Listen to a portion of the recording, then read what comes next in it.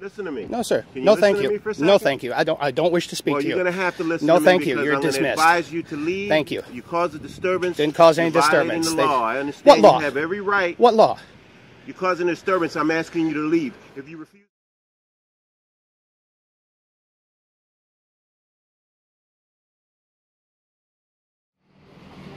See, now that's the definition of a disturbance. If you refuse to leave, I'm going to arrest you. Are you listening to me? Yes, but you're not speaking. Sir, please back up.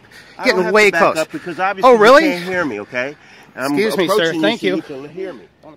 No. Are Am you I trespassed? my order to have Is it a lawful order? A disturbance. It is a lawful order. I'm a police officer.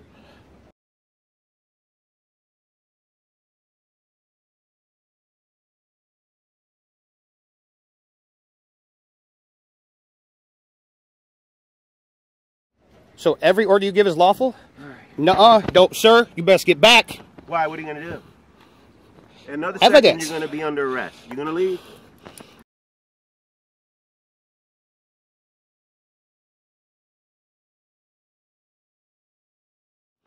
Sir, you're going way above your authority and mandate. Way above your authority and And mandate. As a fellow citizen, You're on public. You're, You're in public.